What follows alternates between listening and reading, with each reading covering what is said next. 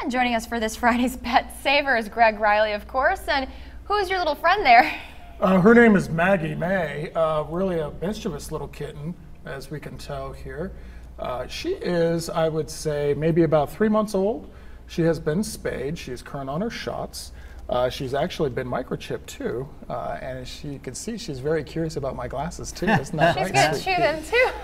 She's almost like a little monkey. She's been up there a majority of the show. Pretty much, pretty much. Uh, she is over at the Terre Haute Humane Society, and if you're interested in giving this little mischievous, adorable creature a home, you can contact the Humane Society at area code 812-232-0293.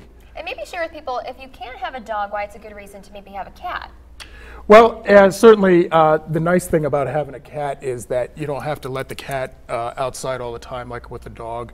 Um, certainly, if your lifestyle indicates that you're going to be gone away a lot where you don't really have to, you know, be home to take care of a dog, certainly having a cat is definitely uh, much more of a positive thing of having in your house. Okay, so if you would like to adopt her, go ahead and call the Terre Haute Humane Society. Sounds good.